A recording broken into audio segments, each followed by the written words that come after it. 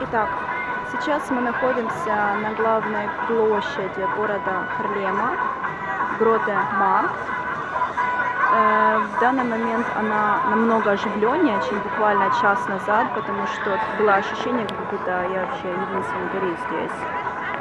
Вот. Так что сейчас уже можно наблюдать даже людей и какое-то движение. Well.